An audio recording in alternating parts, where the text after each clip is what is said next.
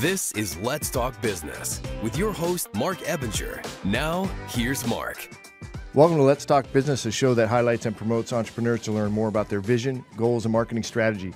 We also highlight local nonprofits that work to improve the community. Coming up on the show today, we're going to learn about human traffic interdiction efforts here in the San Antonio area. In studio with us today is Chara McMichael, the Executive Director of Human Traffic Interdiction at the BCFS Health and Human Services. Carl, welcome to the show. Thank you so much for having me. You bet. I'm your host, Marc Ebinger, the owner of Crukus Virtual Staffing, a company that specializes in hiring virtual assistants from outside the United States. I'm Kyan Frith, co host, and I am the CEO of KV Impact Consulting. We're a boutique professional services firm doing CFO consulting and cyber risk specialists. You also have a guest here in the studio, right? Did you bring somebody with you today? I did bring someone very special with me in the studio today. My youngest son, who's little eight-year-old Benjamin, come over from the UK, here for 10 days on vacation in the US for the very first time.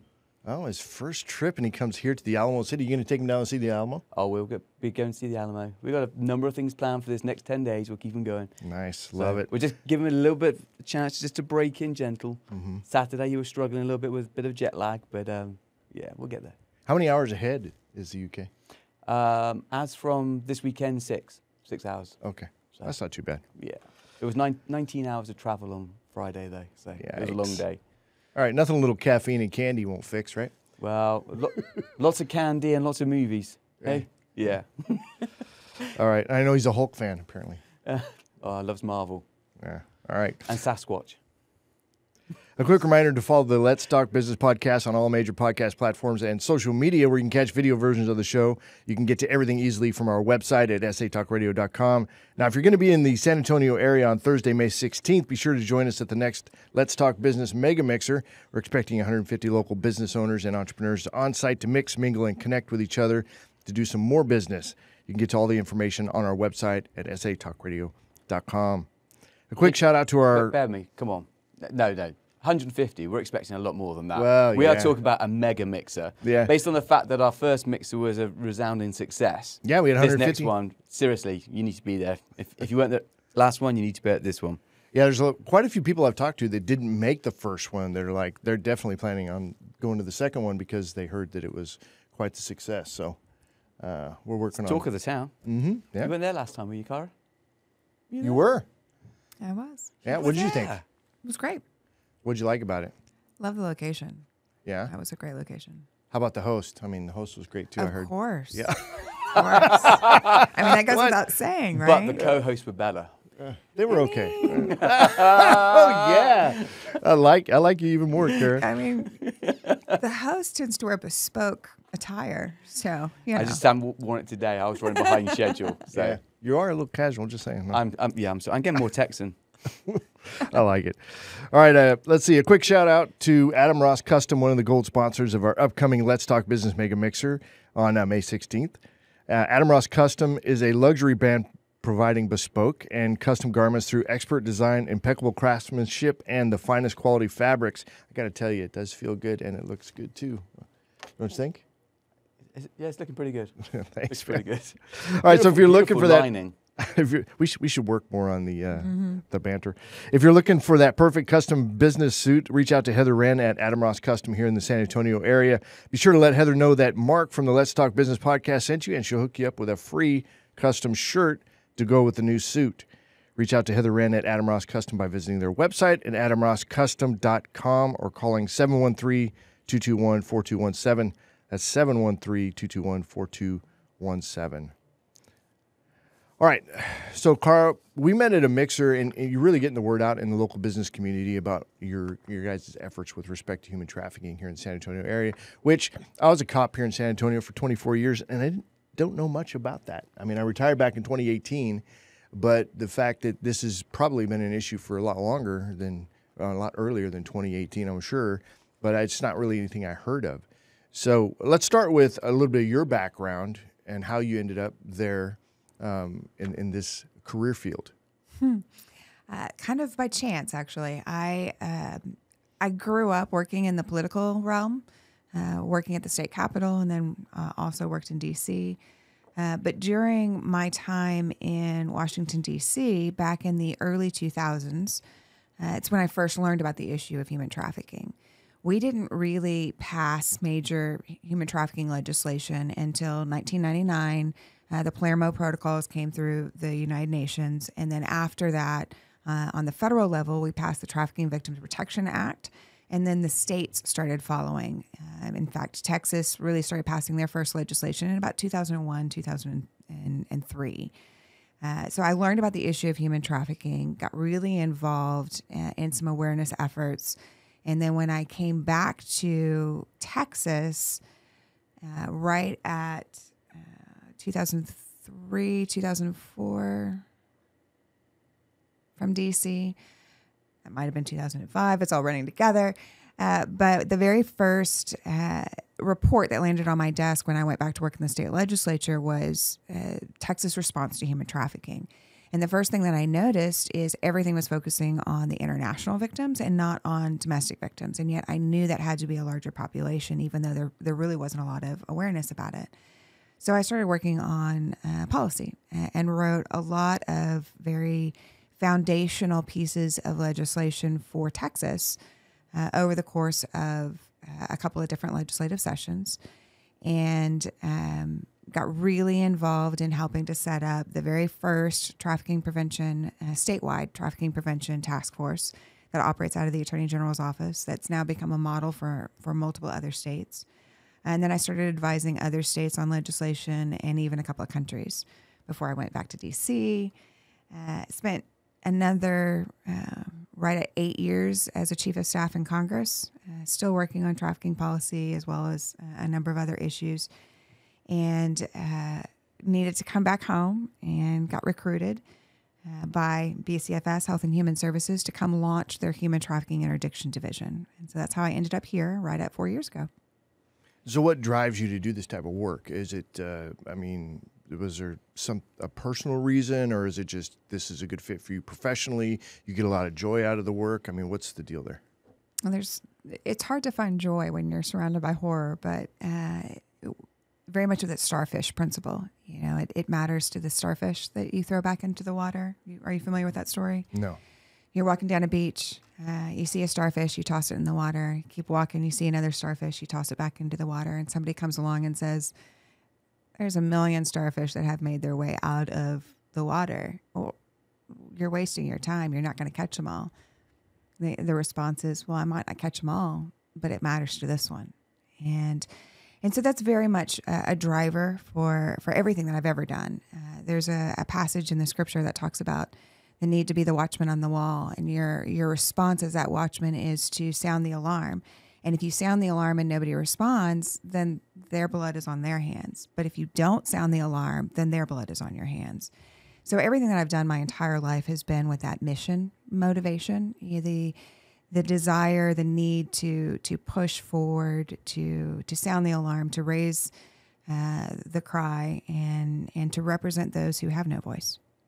So, but when somebody is successfully brought out of mm-hmm. that environment, there's no joy in that or there absolutely is so there's the joy I was there's the joy about. yes absolutely so finding that joy i think is critical to our own personal of course you know psychology mm-hmm. you know um, otherwise it would be depressing on a regular basis and you're just constantly being dragged under you know what i mean so well, uh, this this is a an issue that can bog you down with the horror and with and with all kinds of depressing statistics and whatnot so we have to it's why I refer back to the starfish. We have to find the joy in the starfish. We have to find the joy in the one and, and in the small successes that for most people probably don't seem like successes, but for us are monumental. And I don't know if small is the right word there because they're massive success. They are. One person being brought out of that environment and given a chance at a, at a great life. It's huge. That's huge. Mm-hmm. That's no small feat there. Um, so I, I, I definitely see the huge upside of what you're doing because even if it only happened one time in your career, that's still a massive win. But I know it would happen a lot more than that. Do you follow these cases from from early on all the way through to where they are now they're free of that situation and then be able to stay in contact with them? What, what's that look like? For for a number of them, yes. Uh, we often develop really strong relationships with with the various survivors, and uh, our our programming is designed to be 24 7, 365. We are there or someone is there. There's always a live person at the end of a text or at the end of, of a phone call, uh, regardless of the hour, regardless of the of the day, and uh, and we walk with them through everything. You know, when we first get referrals, more often than not, they're still in the life, and so it's about empower, empowering the survivor to be able to make the decision to leave on their own. Uh, we can't force that scenario. You know, the you have a, a, number of people who think that you can go in and you can save them, you can rescue them, you know, pull them out of a, out of out of a bad situation, and immediately they're on the road to recovery. And that's that's just not the case. Uh, it's a very different type of environment, um, in the sense that you are you're dealing with a lot of the emotional ties, you know, much like Stockholm syndrome. Uh, sure. The the story of Stockholm syndrome is uh, a bank robbery that that took place over the course of about four or five days with adults who were held hostage in a bank. And 20 plus years later, those hostages are still maintaining contact with the robbers sitting in prison. That's that's how we got the concept of Stockholm syndrome. Now imagine being a child who's gone through all kinds of trauma and they're bonded now to the individual who is who is providing that trauma, who's creating that trauma in their life. So breaking that tie is very difficult. You also develop trauma bonds with those who are in the life with you. And so leaving them, that survivor guilt of leaving them is is often also very, very difficult. And of course, when you come out of that, there's nobody else around you who understands, who knows what that's like, who can relate to what you've been through. And especially if you are a child, you have this weird dichotomy of being stunted in your emotional growth and so very very childlike and yet at by the same token you're also very old and and hardened because of what you have experienced and been through and you've had a life that doesn't include bondage doesn't include being trapped doesn't include being handcuffed to i mean all of the things that hollywood shows you is is not the norm you know, yeah, they're not handcuffed to a bed. They're not locked behind you know closed doors. They're not uh, imprisoned. Uh, it's a it's a mental trap much more so than a physical uh, trap or bondage, and so they're more accustomed to having significantly more freedom than traditionally what they'll get when they come back to a home that wants to naturally close in and protect them, and and so it's it's very difficult, and it's not uncommon for uh, those who've been exploited to run back uh, an average of seven times uh, before they finally choose to truly leave on their own. Wow, mm. that, that's incredible. I, as I'm sitting here listening to this and, and, hearing about human trafficking, I'm thinking back, obviously as an Englishman, very aware of like Will, William Wilberforce and the efforts that he put into um, end slavery. Um, and when I think of human trafficking, I think of slavery. Mm-hmm. But hearing what, but hearing what you've just said there, um, you go much further though with your, your definition. How, how, would you define human trafficking now in this modern age compared to maybe how Wilberforce saw it sure. all those years ago? You still see much of those same elephant uh, elements. You you definitely have people who are sold over and over and over and over again, uh, but traditionally we break down trafficking uh, in the United States into commercial sex or forced labor. Uh, other places around the world, you'll see organ trafficking as part of, of the trafficking aspect, uh, and and a few other things. I mean, um, for example, the the forced uh, military, you know, where you've got child soldiers in, in particular, that dovetails into the forced labor. You know, so it kind of breaks down into those two primary categories. Uh, with commercial sex, you're being sold over and over and over again, often multiple times in one day. With forced labor, you are creating uh, the the cash flow by saving money more so than being sold repetitively. Uh, it's not uncommon um, to be trafficked out of your own home. Uh, unfortunately, we're seeing significantly more of that than what we used to. And part of that is because we're getting better at identifying the problem. Uh, but part of it is, uh, I, genuinely, I, I, think it's uh, anytime the economy gets really bad, uh, people get desperate.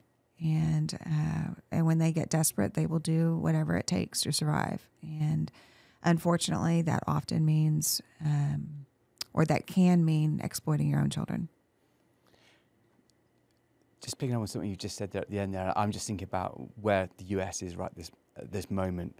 I'm going through this year and a lot of uncertainty.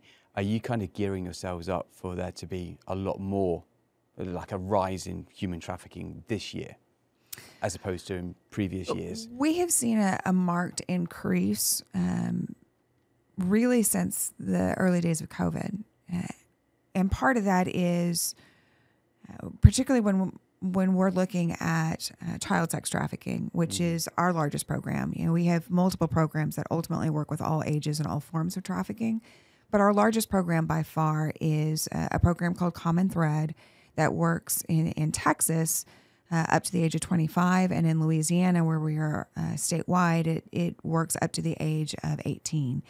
And with commercial sex, the thing that we that we saw for our children is we took them out of the classroom, right?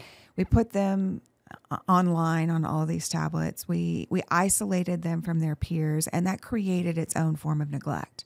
So even when you had a happy, healthy home, which not everybody did, uh, but even if you did have a happy and healthy home, you created a form of neglect that parents were didn't understand um, through no fault of their own. They just didn't get it. Yeah. Uh, and a lot of parents weren't paying attention to what was happening online. And unfortunately, those who are willing to exploit our children are very skilled and they are very quick to transition to whatever the, the laws or the medium or whatever is available and uh, our kids are being accessed through social media. They're being accessed through roblox you know the gaming platform. Anything that creates an interactive platform is a way in which all of these lovely bots start communicating. And then they will they will then contact as soon as somebody responds they'll contact them and they'll start mimicking the language in terms of uh, the way in which they talk and then they develop these relationships. And then through the development of the relationship they start to isolate from family and friends. Like nobody will ever understand you like i do. I can't believe they did that to you. What were they thinking? They just don't get you uh, and develop often either a very very close personal relationship or a very close romantic relationship to then pull them out of the house. And so our kids leave for what they think is this amazing relationship and they leave willingly, but then that relationship turns into a horror show. Uh, it's not really all that dissimilar from a domestic violence type of scenario where you wonder why doesn't that person who's being abused leave? Well, they can't because they're so emotionally tied. You have to break that bond before then they, they're willing to leave again. Sure. So our kids aren't identifying as being trafficked because they went willingly, right? They went uh, into something that they thought was this great relationship that ended up not being. And they think, well, it's going to get better because there's a lot of that manipulation uh, that tells you it will, but it never really does. And then they see what's in Hollywood, which frankly does a disservice to to the industry because that's not what any of them. Ninety nine percent. It's it's not what ninety nine percent of them experience. And so then the next question is, well, am I then guilty of my own abuse? Am I responsible for this because I left to go into this? So it's there's a lot of issues that we have to work through, and uh, and not the least of which is learning how to make decisions again, uh, and learning that they can make positive and healthy decisions for their life, and so that's that's part of what we do. But but then that that power of um, grooming essentially. Absolutely. I mean, I work in cyber risk. I understand the, the power of social engineering with adults and so you take children who, who aren't as mature, they're not aware of what's going on, and very easy to, mm-hmm. to trick them, you know? And I find it shocking to hear that children would maybe blame themselves for getting that position. I mean, that, that's horrific. Well, you know? it's also what they've been taught. I mean, that's sure. again part of the grooming process. Sure. The the other thing that we see um, quite a bit, you know, you mentioned AI, so it, it prompted that it takes one photograph or nine seconds of video to create whatever you want. And so, what we're seeing is these predators creating child sexual abuse material, uh, child porn, and then they will send it, and then they will demand what we now refer to as sextortion. by saying, I will put this on your Facebook page so that everybody can see it. I will put it on your school network. Uh, all, all, I will release it to your family and your friends unless you send me photos along those lines. And so then it creates this spiral, which is also commercial sexual trafficking. Uh, and unfortunately, we're seeing a growing trend of particularly athletic males on the way to college scholarships that are that are being sex sextorted and are killing themselves as a result because they are afraid to say anything or, or to reach out to anybody for help. So as parents, we really have to not only be aware of what's happening through all these social medias and protect them from themselves, but also create an atmosphere where it's it's okay to say I did something wrong. How do I how do I get out of this? I, I need help. You know, it, there has to be an openness to have those conversations with our kids, or or they're just going to continue to get exploited. What are the uh, the criminal implications there for somebody who's going to do something like that, extortion? You know, uh, like you're talking about. Mm-hmm. If somebody's charged with that, what are they looking at? So it depends on on how much evidence there is and how deep they can go. I mean, it could be something as simple as as blackmail or if we can follow the trail and prove that they turned around and sold it again it, where we can get trafficking uh, we've seen some cases go for 20 30 years. Okay good. Yeah absolutely. Because it's the you know the victim that needs to be protected in these type of situations. And traditionally you know the criminal justice system is not good at actually coming up with punishment that mm-hmm. fits the crime. It's usually a lot less than it should be considering the damage that is done to somebody young especially if there's you know injury or suicide as it results most state and federal laws particularly when we start looking at trafficking uh, or anything that's that's related to to sex, uh, molestation, assault carry significantly higher penalties if you are a minor. Uh, and in fact, Louisiana is is looking at adding the death penalty for some of those if you are under the age of 13, I believe. All right. Well, so how prevalent yeah. is it here in San Antonio? It's it's pretty prevalent. Uh, so, case in point, we are working with uh, 215 cases right now, uh, and we have also unfortunately had to wait list for a while. So, that's that's what mostly because um, I, I, only have so many advocates, and, and, once our caseloads get super high, then it, I, it ends up being a disservice not only to the advocate but also to the survivors that are on that caseload. If I keep adding more, uh, so we we have had to wait list for a couple of months and are coming off of that with some additional hires. Uh, but those but are yes. ones you guys have. But I'm talking Correct. about like criminally criminal wise how many cases are going on here in San Antonio area? In terms of prosecution, yeah. those numbers I don't have, but they're they're pretty few and, and far between. In part because uh, the the sad part of this is while we may be able to identify somebody who is trafficked, uh, identifying that is is a whole lot easier than than turning around and identifying their predator, building the case. It's it's not uncommon for it to take anywhere from two to four years to build the case, uh, and if you don't have somebody who's willing to testify, that makes it a little bit harder too, because then you've got to find all the evidence to corroborate a story or or uh, the various issues that are there. We've had some great uh, successes within the last year or so. I, I want to say that there have been three or four different cases that have that again took years to build, but were prosecuted, and I think the minimum sentence was about 25 years. Okay, well, I mean that's significant. Absolutely. Sure definitely. I'm thinking here that uh, a lot of the time you're dealing with the, the consequence. Mm-hmm. How can you get to the root cause to prevent things? Is there any way of doing that, or is it just the way it is? Mm-hmm. The only thing you can do is just deal with the consequence. No, no, no. There's there's definitely prevention methods that are out there, uh, and there there are a few organizations that are out here in San Antonio in particular that are doing some prevention work uh, in terms of getting out into schools and different areas uh, in order to to um, educate better. Uh, we also have our own team that does a lot of uh, human trafficking education and awareness. Uh, and so helping in terms of those identifications is, is, is key certainly.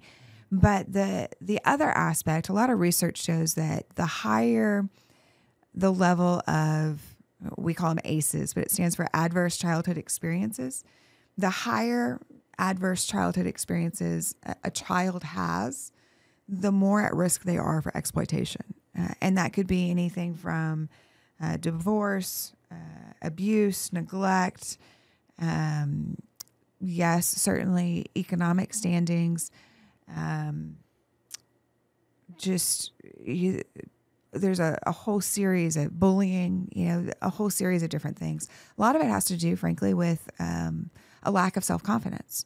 You know, we we've seen interviews with traffickers who say, "I can go into a mall, see a girl." kind of walking around by herself and go up to her and tell her that you know she just looks so pretty and if she looks down at the ground and goes no i'm not then i know i have her but if she looks at me and says thank you i appreciate that then i I smile and I walk away because I can't get her.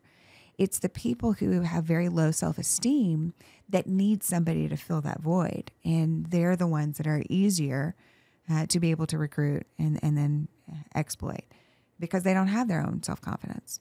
The the research shows that having even one safe adult in a child's life who is willing to say, "How you doing? What's going on? you okay?" You know, check in on them, um, provide some stability in their life, just one. That's all it takes. Uh, that can significantly reduce the impact, even of an adverse childhood experience, and thus reduce the level of potential exploitation. Sure. I suppose I'm thinking across San Antonio, it, it's um, a city of, that's pretty diverse mm-hmm. across the spectrum of demographics, wealth, etc. Um, there's probably a finite amount of work you can do on prevention because of resources. And I'm sure that you could sit here and go, actually, there's these various organisations that they all need additional resources, whether it's people to help, funding, whatever. Mm-hmm. Um, but also across the city, then, I mean, there must be a need for just helping parents be better parents, helping um, restore stability back into the family environment again. Absolutely. That that's a, a massive area, and mm-hmm. again, I presume that there's probably not enough resources to help in that education piece. Well, unfortunately, the the the need is always greater than the supply when it comes to this particular yeah. realm. Uh, we do have a, a mentorship style program uh, that we that we operate called Allies Peer Support, uh, and that one we work with obviously a lot of the the trafficking survivors themselves, but then we're also working we're partnering with businesses. Uh, like for example, we've partnered with Wells Fargo, who's helping to provide financial literacy training. We've partnered with Dress for Success, who's helping to provide uh, job resume skills and interview skills and, and outfits for an interview. And if they get the job, then then um, a few more outfits for for the work world. The, the hardest piece once you've been in the life is that financial component because oftentimes I either have zero credit because they were completely off the grid, or they have destroyed credit because their trafficker utilized their information and ran up a whole bunch of credit cards, never paid anything, mm-hmm. defaulted on loans, all kinds of stuff. And so, without having decent credit, you can't get a bank account. Without a bank account, you can't get a lease, you can't get a car. I mean, there's there's so many different hurdles and barriers, and and that makes life uh, infinitely more difficult and makes the idea of going back into the life thinking that you can do it for yourself rather than being run by a trafficker uh, infinitely more uh, appetizing. And, and so, in order to prevent that, we are intentionally trying to find ways to, to give them more stability. So, how about providing a story that, you know, from start to finish mm-hmm. that had a happy ending? Because I feel like you know, the energy's a little need, low here, and it's like I know ending. there's no, well, I understand. Well, it's not that I need it; it's that there's there's got to be examples there of it, right? There so are. back there is, to there is hope. yeah, there is. There no, is there hope. absolutely is hope. We, um, in fact, we we have a survivor who, uh, when she first came to us, was still in the life. It took us a while to help her reach that decision to finally leave. We were able to restore her with a grandmother, and um, because her her mom was was not a healthy place for her, but her grandmother was and uh, they were able to rebuild a relationship. Uh, she ended up in college on a scholarship oh. and uh, is graduated and is now working on a master's degree with the hope of going into social work so that she can turn around and help others. Uh, we have another case who, uh, an adult who uh, was being labor trafficked and um, we were able. He uh, was actually somebody who had come from out of country, uh, which one of ironically one of our few. I mean, we've worked with well over two thousand survivors in the last few years, and maybe 30, 35 of them at this point. We've seen a few more recently. Uh, have been foreign born. Uh, all the others are, are domestic, um, U.S. citizens or residents, because uh, it's you know it's it's easier to uh, unfortunately exploit your own rather than having to import you know, a product in. Uh, but this individual was a, a, gentleman who who came from uh, Central America, was being labor trafficked. we were able to get him the appropriate visa that allowed him to stay. got him connected to um, I'm completely blanking out, but UTSA has a kind of a, a business um, think tank of sorts. And they were able to work with him. So he created his own construction company and now is able to uh, provide for his own rent and take care of his family and uh, has his has his own business and it seems to be doing fairly well. And that was actually here in San Antonio. Well, let's dig into that just a little bit because sure. I want to understand. So he's he was in he came into the United States under like illegally. You smuggled in or something. Well, he didn't realize was he it was illegal, so he came hmm. in what he thought was a work visa. Only the company that brought him in didn't actually have a visa for him, and they took all of his documentation, and um, and then he was stuck, and and so yes, they were they were using him for forced labor. And what was the labor? Construction. It was construction work. Okay, so he would go out and he would perform the mm-hmm. construction, and then they would pay him little or nothing when he Correct. came back. But he was. How did they? But at the same time, building up, in essence, an indentured servitude. Like, yeah, like, yeah. Yes, we will pay for you, but we're also housing you, and and so we're going to charge you. Mm-hmm. So while he may have had a, we'll say a twenty five hundred dollar paycheck, he might have gotten fifty dollars so that he could go buy his own food but at the same time they were also billing him exorbitant amounts for his toiletries and his and his overhead. What was the leverage though? We're going to call immigration and have you deported? Is that the leverage? That and the debt yes right. But i mean the debt he could walk away from run away or something mm, right? except most cultures don't think about it in that term. Okay. You know i think um, not to be callous, but I think Americans are, are much better at walking away from debt than, than a lot of other countries. You know, when you have that obligation, and especially if, if there's the potential for shame associated with it, uh, there are a lot of other cultures that, that aren't as feel as safe as walking away. Because the, the other aspect is, um, particularly when you don't understand our our customs, our laws, um, a debt, for example, that you walk away from could be a prison sentence in another country. Here, it's not. You know, it messes up your credit. Uh, and, and, depending on the level of debt, then yes, you, you may have fines and other things that are that are there. But you know, back home, he would have been thrown in jail, and so thrown in jail for walking away from a debt here means he has no access to anybody. Uh, he can't help his family. He can't uh, contribute to what's happening back home. He can't contact them. So you've got isolation, correct? The fear of shame, correct, and then the fear of being deported or imprisonment. Mm-hmm. Um, the fear of being imprisoned by our system, right? Correct. What about physical violence? Are you seeing that?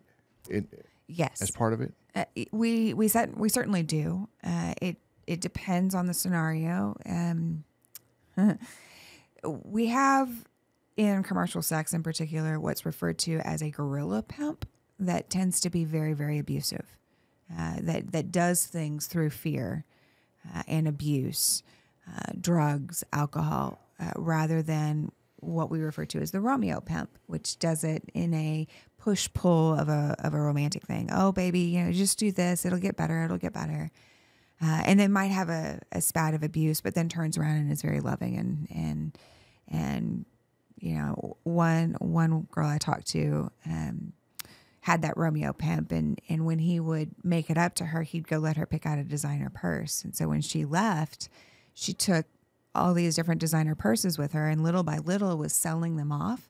But every time she sold them, she would remember everything that she had to do to get that purse. And so it was real hard to, I mean, because even years later, that trauma bond to the purse, because of what was required to get that purse, made it very difficult for her to let go. Uh, Now, do you have examples of, or like an example of one that didn't turn out well? Right. I mean, somebody was maybe we've we've brought had, over and it didn't. we've had several that have killed themselves. Okay. Uh, in fact, since I've been here, we've had at least 10 survivors who have either committed suicide or been murdered. So this is after they were removed from the situation.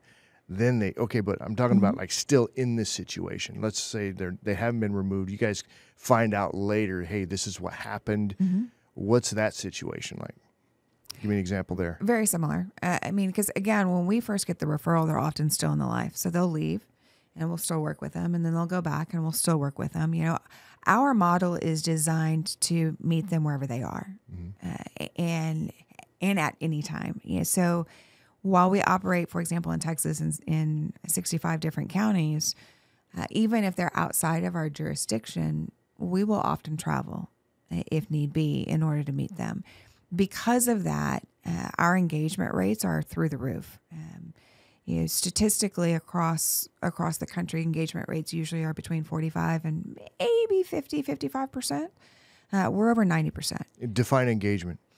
the rate at which you stay engaged, the the the the rate at which Once it starts, that you continue. connectiveness, correct? All that right, that connectiveness. It's it's not uncommon, even when our survivors run, for them to still call us.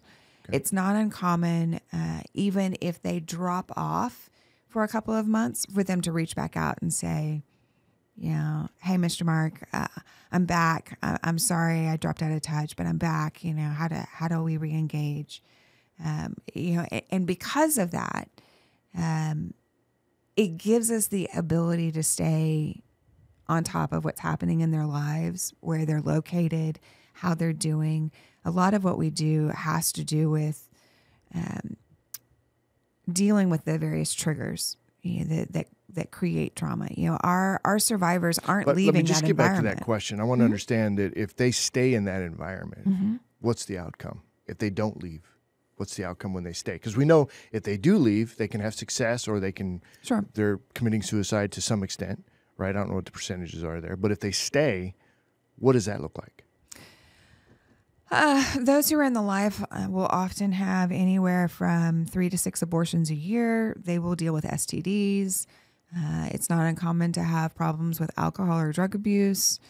Uh, it is it, the the sex world is the number one target for serial killers because most of them are are considered throwaway individuals by today's society, and so if uh, a sex worker is killed, there's not generally a lot of investigation. Um, it's not uncommon as well for people who have abusive sexual preferences to uh, to intentionally target the sex world um, because then it's unknown and it stays that way uh, in terms of their their predilections.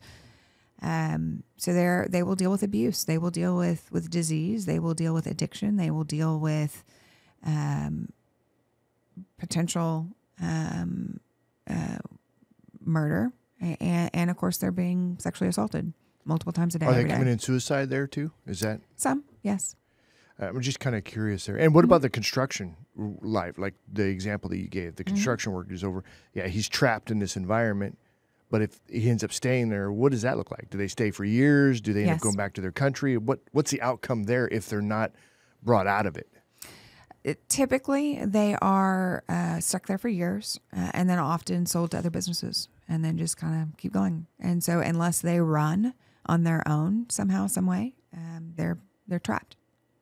And that life, what does that life look like for them? It's just hard labor, real hard labor, and and of course, um, no income, no ability to improve yourself, no ability to to provide assistance to anybody else, um, no. uh, Unless your family is also there with you, there there's no opportunity for family as well. Yeah, it's just Are, are there particular? oh, You mentioned construction, Mm-hmm. um, so I don't know if that's maybe the only industry that maybe is uh, absolutely not. Okay, so uh, are there a few key industries? And obviously, we- we're on a Let's Talk Business podcast. So, are there business owners in particular industries that should be aware of this? And what proactive measures should they be taking? So, maybe a couple of bits mm-hmm. into that.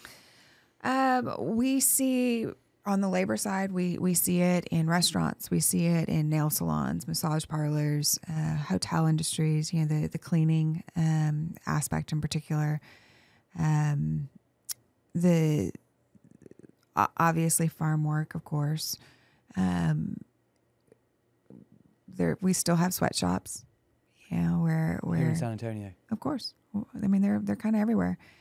Um, but but yes, absolutely. We we have communities. In fact, uh, one of your your colleagues recently took a, a tour uh, around San Antonio and discovered that the massage parlor just down from his own office was actually uh, one that was doing sex and labor uh, at the massage parlor.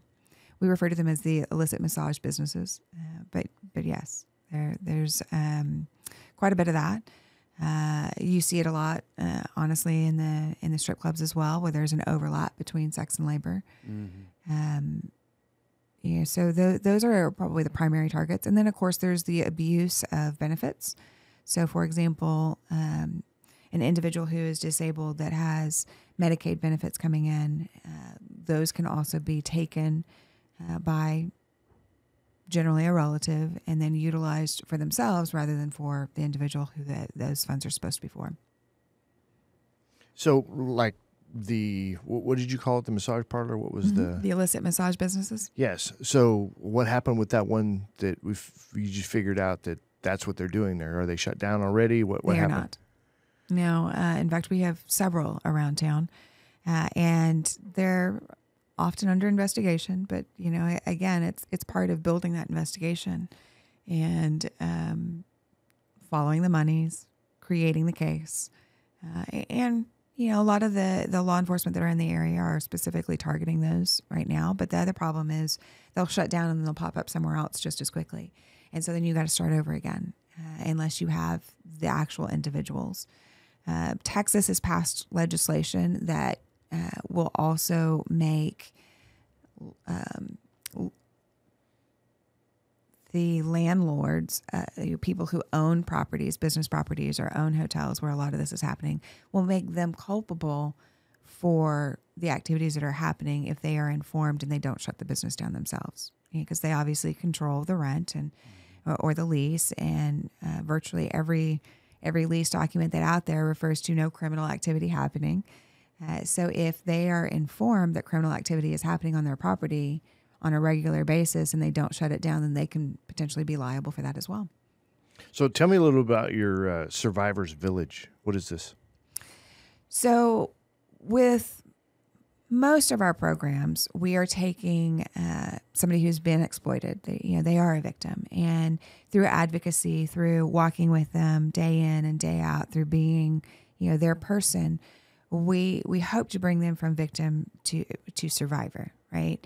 Uh, but a survivor isn't enough. We want them to be thrivers. So through our allies peer support, we're we're surrounding others in the community, businesses, individuals, to help with everything from uh, GED training to uh, providing scholarships to go to tech schools and colleges. To uh, we've got somebody now who's interested in, in helping uh, sponsor real estate licenses um, and also creating that safe adult as a mentor to help them move beyond being a survivor, uh, the victim and survivor, to being a thriver, to being able to step out on their own two feet, to to walk in a world where they're constantly surrounded by triggers, but be able to handle those triggers. Because again, most of our victims are are domestic, and so they're hearing the same music that they saw or, or, or heard while they were being exploited. They're seeing the same clothes, the same cars. They're in the same city. It, they may even run into somebody that purchased them at the grocery store because they're in the same city where they were sold.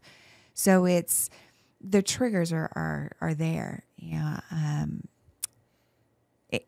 but learning how to deal with that, how to how to develop their own self confidence, how to to know that there's a life after this and be able to walk forward through that is is is key. And so yes, we are we are partnering with businesses and we are partnering with individuals to help build out that village to ensure that they um, feel supported and can walk out on their own. How do businesses get involved if they want to get involved? Uh, so there's a variety of things. Uh, one is uh, obviously the like, for example, the financial literacy piece that I mentioned. Uh, those who would be interested in being serving as mentors. Uh, we have other businesses that have volunteered. Um, like they do a big volunteer day where they help us put together backpacks that create toilet that, that have a change of clothes and toiletries and uh, a few other things that we give to survivors and because oftentimes when when we first meet them they're they've been recovered and so don't have anything but the clothes on their back with them. And and so providing them with that is is often what we do. Um, we have other businesses that particularly during thanksgiving and, and christmas will donate meals or or turkeys you know, for the holidays. Um, others uh, in fact, we're partnering with the, the San Antonio airport right now, and they're doing um, a baby drive. So, uh, baby clothes and, and items, because a lot of our survivors have kids of their own. Um, the, the other thing is, most of what we do is funded via grants. And uh, part of particularly federal grants is, a re- is what's referred to as a match requirement. So, um, that means that it's a kind of a public private partnership aspect where where we have to put up some sort of in kind or cash contribution. Uh, cash is obviously always king, but what we're we're really looking for now is reaching out into the business community to say, if you're a painter, would you be willing to do donate some time to paint a room so that it looks different than than where they were potentially exploited? Um, would you be willing, if you are a, a, tattoo parlor, to provide tattoo removal services? Because a lot of our uh, of our kiddos are branded with tattoos that, that are a form of ownership, and so to remove that also helps to remove that that constant trigger that they're seeing, or or maybe even tattoo over it into something that that is beautiful rather than what they they see when they look at it. Uh, if you are uh, a retired teacher, would you be willing to help to some tutoring? You know, uh, there's just virtually anything that's out there as far as a business.